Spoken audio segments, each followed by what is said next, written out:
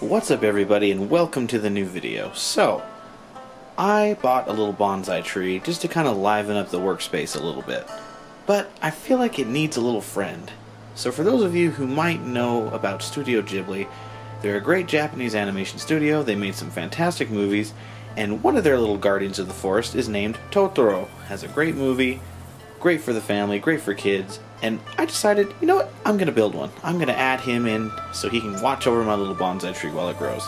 But, oh no, we have to build him. But with one simple trick, we can get him built. Alright, say it with me. Ghibli power! By the power vested in me and YouTube, I command you to be built and poof! And there he is, a little Totoro just for my little bonsai tree. Bloop! Alright, well that's going to do it for this video. Hope you guys enjoyed.